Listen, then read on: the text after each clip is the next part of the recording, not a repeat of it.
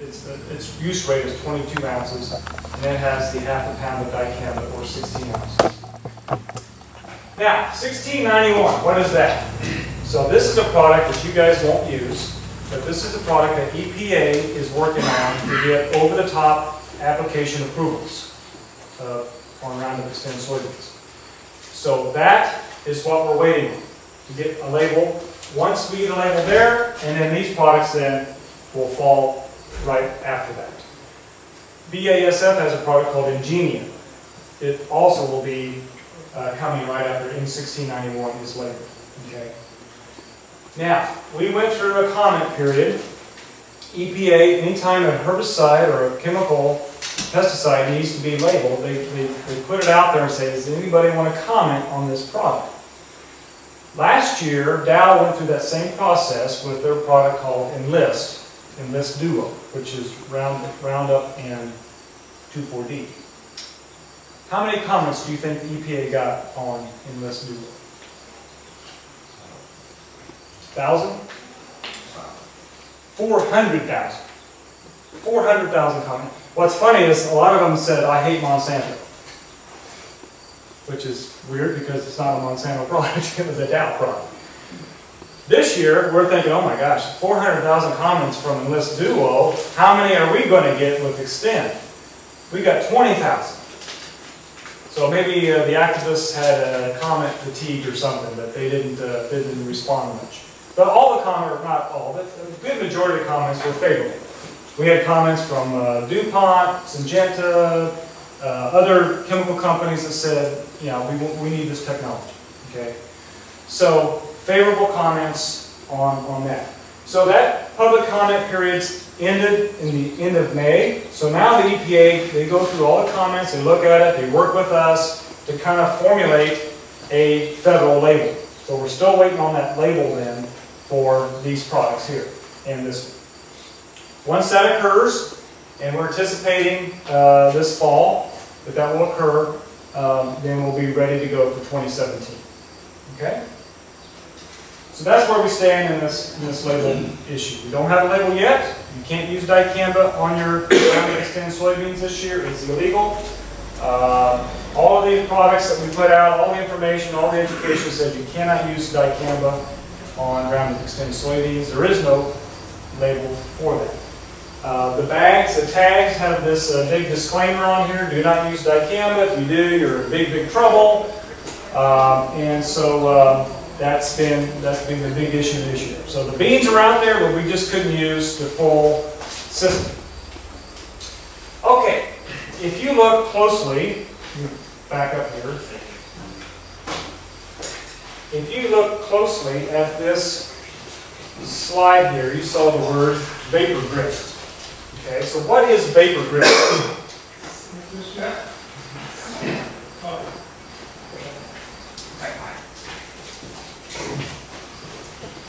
Okay, so vapor grip is, it's not a marketing name, it's not some smoke and mirrors, it is an actual substance that's in the formulation.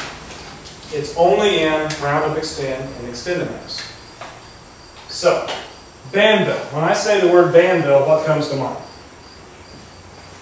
Drift. You said drip. What else? Anything else? Yeah. You can spread, and after maybe a week, stuff raises up, drifts over. Gets up and walks away, mm-hmm. right? A lot of people say that. Gets up and walks away. Drift. You know, nobody says, Banvel, excellent herbicide. I never hear that. It's because Banvel has a lot of baggage with it, and that is the volatility. So you, what you described is volatility. What you described is sort of like volatility. He gets up and picks away, we don't know where it goes. Okay, that was the big issue with Banvel. Banvel is the most volatile dicamba on the market. I don't even know if you can buy Banvel anymore. It's probably a generic company that sells it. 1996, BASF came out with Clarity, greatly lowered that volatility because it's a different salt form, okay? So, what is vapor grip? So, vapor grip is a substance that's put in the formulation and helps lower that volatility. And here's how it works. So, over here on this side of this cartoon, we have a tank of water. We put Banvel in it, and then we spray it on the leaf, okay? Now, on the leaf, or on the surface of the ground, you have these H molecules, which then, where's the H come from? From the water, that's the hydrogen, right? So H2O is water, okay? So you have a lot of H molecules on that leaf. It's positively charged. And the dicamba is negatively charged. So what happens when you have a positive and negative? They come together, and when they come together, they form dicamba acid. This dot right here. And it's the acid then that picks up and walks away. Okay? Or at least picks up, then the wind kind of walks, walks away. So that's what happens. It's the dicamba acid that's volatile with Banvel. Now, with vapor grip, what it does is it surrounds that hydrogen. It chelates the hydrogen, so now the hydrogen doesn't bind with the dicamba. It can't, right? So it's chelated. So if there's no binding, there's no acid made, and if there's no acid made, there's no volatility. Okay? So we've pretty much taken the, that component out of it. Now, will dicamba, will Roundup Xtend drift? Yes, it can if it's what? Windy, right. So here we're just talking about volatility. And again, greatly lower the volatility, this getting up and walking away issue. So we'll, uh, close this door a little bit. So here's what we did to demonstrate this. We call this the green donut. I'll- show the donut here in a minute. So this is a field of Roundup Ready soybeans, okay, just typical Roundup Ready soybeans.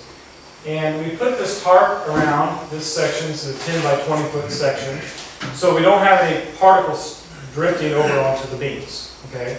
And then we spray the center here with Roundup Xtend, which has the vapor grip in it, okay? We picked up the tarp carefully, uh, and later you saw that, okay? Killed the beans, right? Because uh, uh, these are just straight Roundup Ready beans. Where's all the cupping? Don't beans cup from dicamba? There's no cupping. Look, dead beans, live beans, no cupping. Is there any volatility? No. It didn't volatilize. Okay? If we had done this with Banvel, my whole farm would have been cut, Okay? Because I've been working with Banvel a long time. So Banvel is very volatile. So with the vapor grip in there, we don't have the volatility. Okay, let's talk about what the label's going to say, the anticipated label. Oh, she gives a ticket, yeah. She, you give ticket? That's. So you'll see this information in a lot of literature around. This is the anticipated label requirements. A lot of guys, guys, a lot of these things are common sense anyway, you do them anyway with other herbicides. So let's review some of these. Ultra coarse droplets. So the label will re- require a tip, a nozzle tip that produces a big droplet. Okay? It has to be in that ultra coarse category. So one of the uh, options there is TTI, Turbo T Nozzle Tips. So uh, go to your manufacturer or wherever and get those, those tips. So they create a big droplet. It feels like a shower, like you're, like you're taking a shower. That's what the droplets feels like, okay? It's not the XR tips. XRs feel like a mist, like you're at the uh, theme park and you know it's a little hot day and you walk through that misty thing. That's, where will those droplets go? Who knows? I mean, those things will, will, will fly a long ways. But these large droplets will go where you spray. They don't, they don't drift. They're heavy. But they are air filled. Okay, they're filled with air. When they hit, they explode on the leaf, so you actually do get like smaller droplets that cover the leaf. I've used these tips uh, for a number of years. They work really good. Um, soil applied if you're just spraying a, a pre, or post applied if you're spraying something like Roundup Xtend. So you're going to ask me, well, large droplets, you're not going to get the coverage that you need, right? Well, what are we spraying? Roundup and dicamba. What do they do in the plant? Translocated, right? Do we need to paint the weed? No. We just need to get a few of the uh, leaves wet. So we don't need excellent coverage, so large droplets work really well with this herbicide. What about if you're spraying Liberty or Cobra or Blazer? Do those nozzles work with that chemistry? No, because you're not getting very, very good coverage. You're getting big blotches.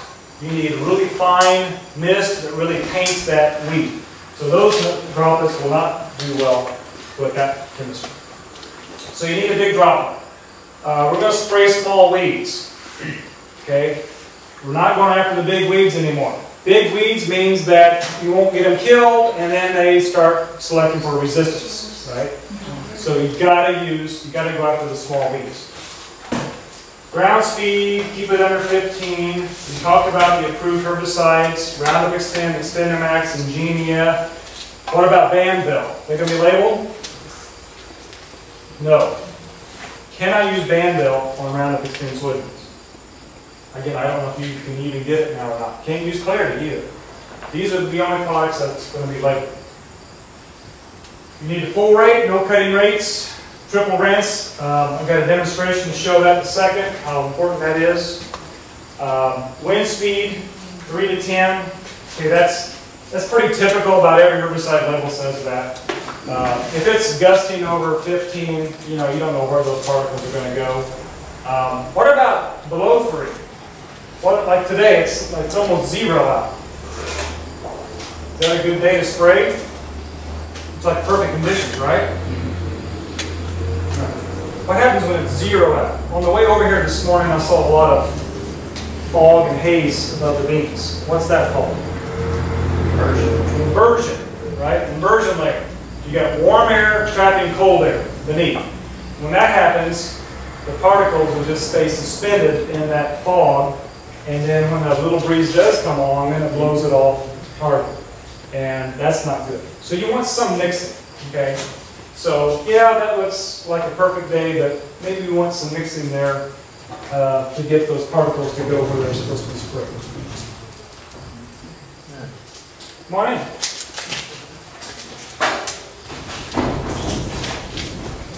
Okay, 10 to 15 gallons per acre is the, uh, about the uh, volume that we want, okay?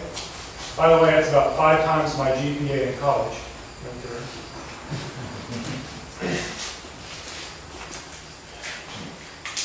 All right, look at this right here. AMS with a line through it. What's AMS? What's, what's that stand for?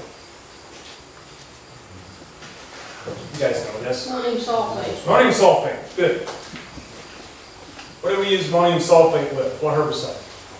Roundup, Roundup. Why? make it active. Make it active. Because a retailer told me to, right?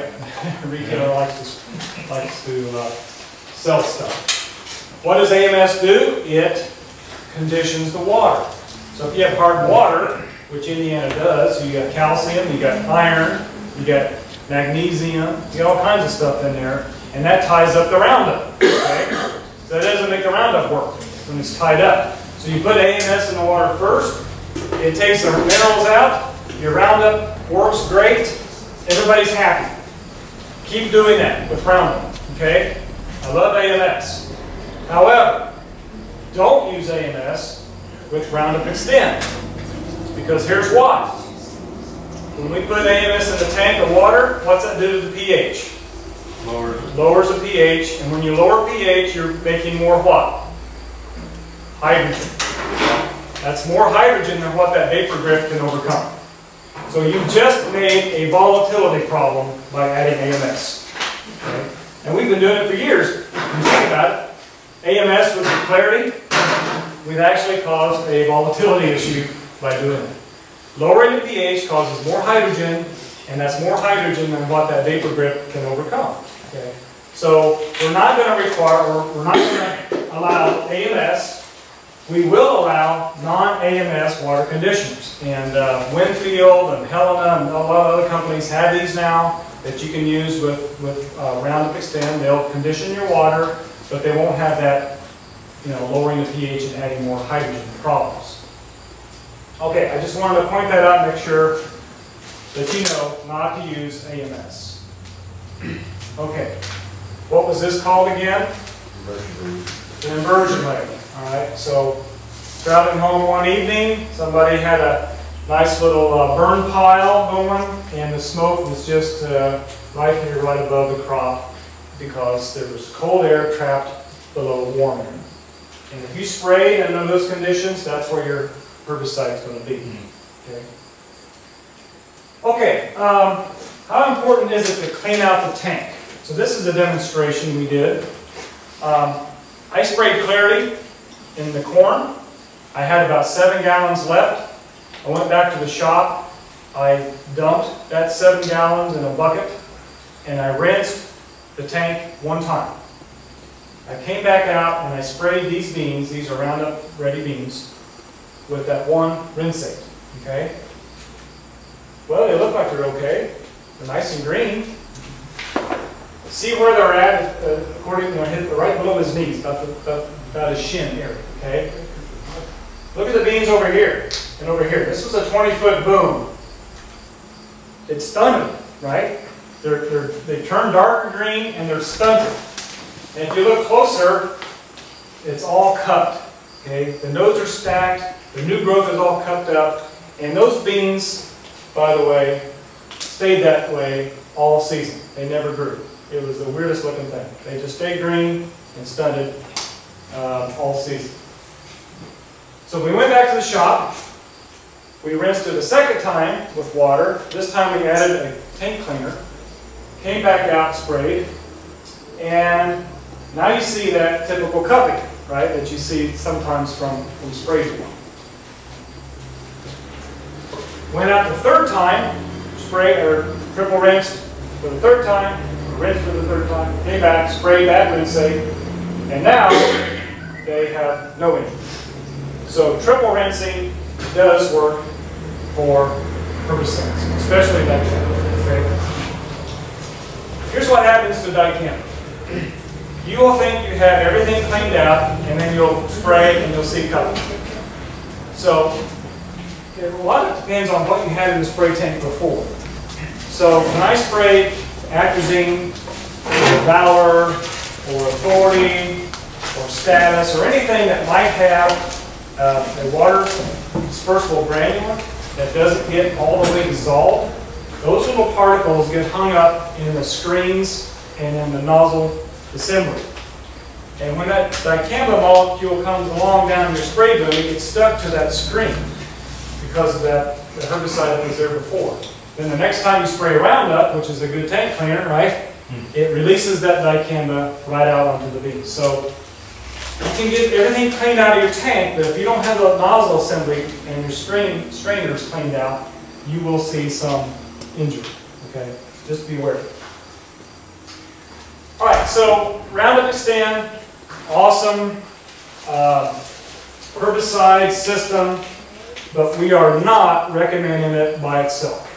We want you to continue to use residual products um, and not just recommend it, we're going to actually incentivize you to do it. So any, any of these products over here, and you can talk to your retailer, they know which ones they are, you will get money back in like three to four dollars per acre back if you use any of these residual products with Roundup or Roundup Xtend.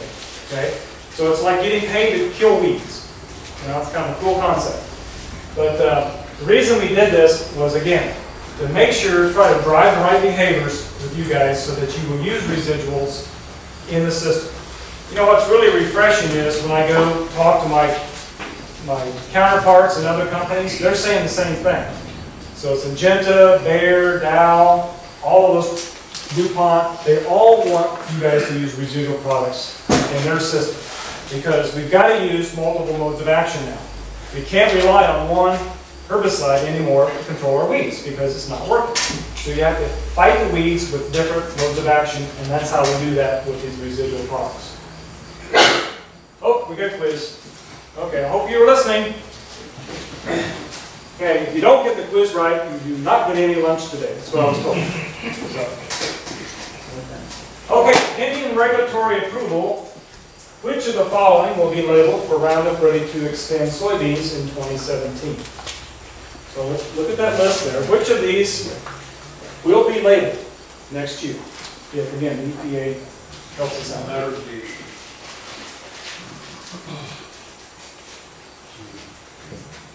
Okay, let's go down the list here. XtendiMax? Yes? Sure, yep, that's, that's the Monsanto product. Banvel? No. No Banvel. Banvel doesn't have any vapor grip in it. It's a highly volatile salt. It's not going to be used. Engenia? Okay, so that's BASF's product, and that will be labeled next year, okay? So if you want to use BASF uh, products, you can use Engenia on your Roundup Xtend soybeans. It doesn't have vapor grip in it, by the way. So they, they felt like we don't need it. Roundup Xtend? Yes. Enlist Duo? Oh no. That'd be a screw up if you did that. So what's in the list Duo? 2,4-D. Yeah, it's 2,4-D choline. And if you spray that on a Roundup Xtend soybeans, it's like spraying it on regular beans. You will you will hurt them bad. Okay. How about Clarity? No, not likely. It's not going to hurt the beans, but it's a BASF product, and they're going to be selling Engenia because it's a better salt. Okay. M1691, again, no. Uh, well, it's going to get labeled, but you guys won't see it. You guys probably won't use it next year.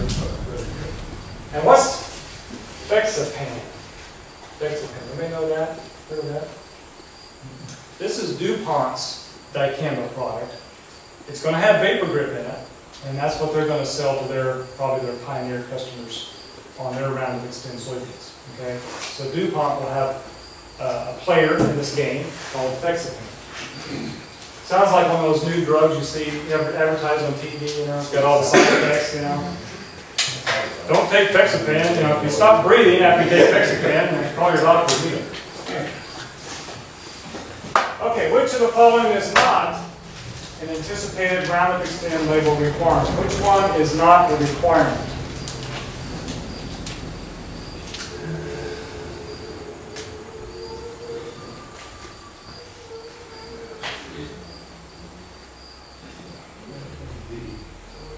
Let's, let's start uh, with E and go up. Triple rinsing? Yep, we're gonna have to triple rinse.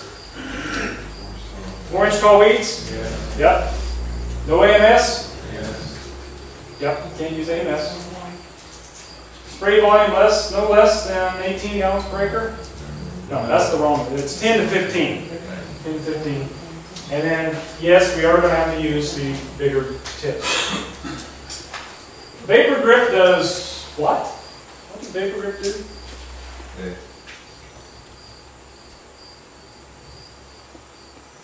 Okay, let's start from the bottom again. Does it improve weed control? Not really. It doesn't have anything to do with weed control. It has to, it has everything to do with what? You know, not drift, but starts with a V. Volatility, right? You guys remember that. Vapor grip lowers the volatility, not the drip. So it's not D.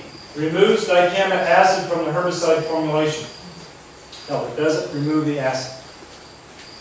Does it eliminate drift? This should be a big no. It does not eliminate drift. Drift can happen when you spray on a windy day. So the only right answer is A. It blocks the hydrogen ions from combining with the dicamba anions, which then doesn't create any acid. And so if you don't have acid made, you don't, you don't have volatility. All right, let's talk about some tough weeds. So my number one question this year was water. Okay? Um, not so much last year, but um, huge explosion of water hemp. You guys, anybody have water hemp your farm? Your neighbor's farm? You never admit you had it. My neighbor had it. Okay? So water hemp is a pigweed. It's a member of the pigweed family. It's a dioecious plant. Big fancy word means it has a male plant and a female plant. Okay? And when they get together, little little water hemps are made. Okay? So uh, sometimes you'll see a green stem, and sometimes you'll see a red stem. Okay? Um, the green's not always male, the red's not always female, although in my experience, the reds most of the time have been the females, but not necessarily. I went up to a red plant, this is, by the way, this is at Elwood, so not far from here, where my trials are. And I shook it, and I saw this pollen dust, so I, whoop, okay, that's a male, that's not the female. So you get different phenotypes, okay, but they all are water hemp. Now, here's water hemp when it's four to six inches tall. If you were spraying, this is the day to spray, okay? Right there. Because you do not want to wait even another eight hours because it is extremely critical to get them when they're small. Because if you don't, they'll do this. Here it looks like we've killed them and they start growing back. Okay? Very, very difficult to control. So the smaller the better. Um, does this look like your field? Hope not. So here's an untreated plot. You can see my little stake right here. Um, Again, this was over at Elwood, where I had my trial. Um, So that's what it looked like. So very heavy water hemp pressure. Uh, I came in with a residual warrant and metribuzin. That's the old, uh, metribuzin is the old Sencor. And then I followed with Roundup and Warrant Ultra. Okay? So we got plenty of herbicides there. Uh, if you go back and look, again, there's the mess that we had, and that's what I did. So I cleaned up, you know, I probably got about 85% control, which looks pretty decent, but we don't know if those weeds are going to die or live. So keep that photo in mind. We'll look at it a little bit later. Here I, I started with RAL and XtendiMax. Soil applied, it came back with Roundup Xtend and Warrant. So I got two different uh, uh, residuals in this combination here, and all these weeds look sick. They're all bent over, curled down, and um, looks like we're going to get good control, but we'll wait and see from the next, coming up here. Uh, Here's another combination here. I used Cobra with Roundup Xtend, and uh, did an excellent job. Even with those large droplets, I got pretty decent control with the Cobra, but again, it was with the Roundup Xtend. So this is kind of like a, uh, the boxing analogy. The dicamba punches it in the gut, and the water hemp curls down, and then the cobra gives it an uppercut and knocks it out. It, it kind of looked really good in that uh, tank mix. Okay, skip ahead about three weeks. This is what that untreated plot looks like now. Okay, horrible. And there's what the Roundup Ready beans look like. Horrible. So all those water came back. Uh, This was the Liberty trial. So we had Valor. Valor didn't get activated because we didn't have enough rainfall. One application of Liberty is not going to do it. You need two applications of Liberty plus a residual uh, to help with water hemp. But there's what the Roundup Xtend looked like. So um, excellent control. Um, Here's one with the Warrant Ultra added to the Roundup Xtend, and um, we nailed it. Okay. My best looking plots in my trials at, at Elwood was the Roundup Xtend. Okay. So you can make the Liberty work, but again, it's going to take two applications. It's going to take two different residuals with that uh, to get a plot that looks clean like this. What's this called? Mare's tail. Okay.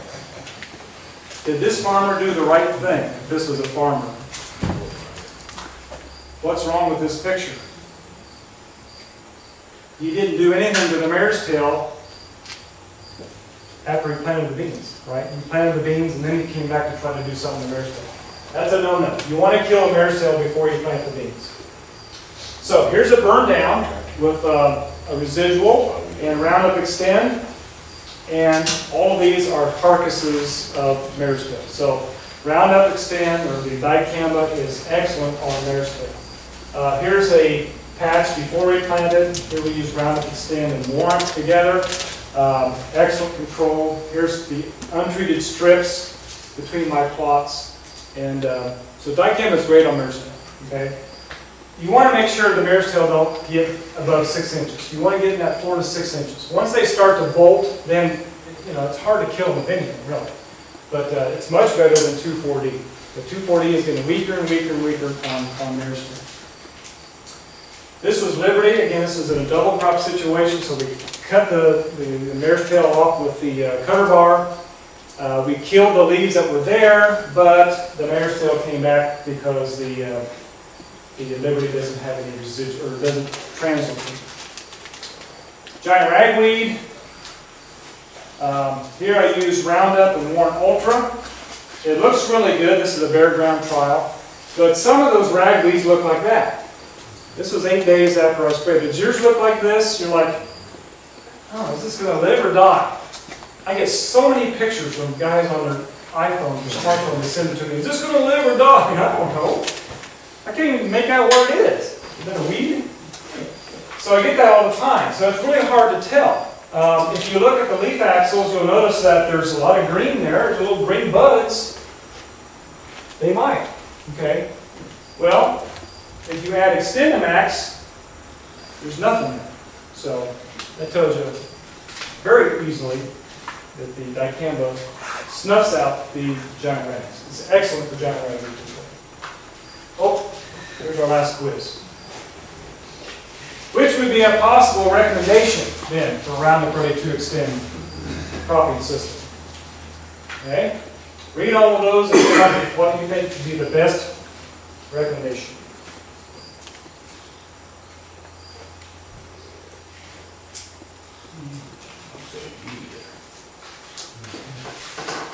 Okay, we'll start A and move down. So A,